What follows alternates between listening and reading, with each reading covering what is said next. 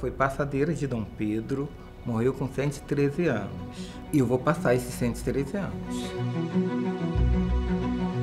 É uma vida inteira lidando com preconceito.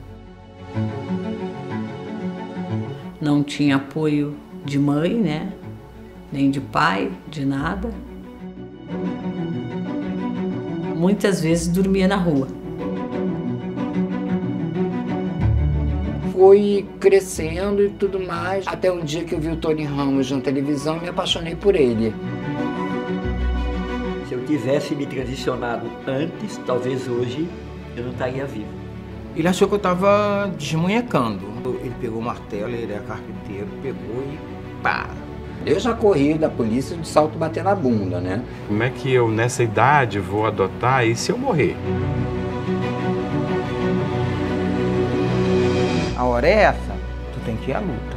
Ou então desistir de tudo. Né? Acorda, sai pra esse mundo, né? Grita pro povo, né? Às vezes parece até que é um sonho para mim. E hoje eu posso te dizer com tranquilidade de que eu renasci. Eu não sou maluca se tiver que bater um cabelo, eu bato.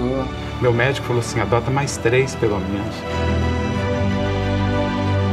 Felipe deu muito sentido pra vida da gente. Muito sentido. Depois do João, aí tá aqui o Franco.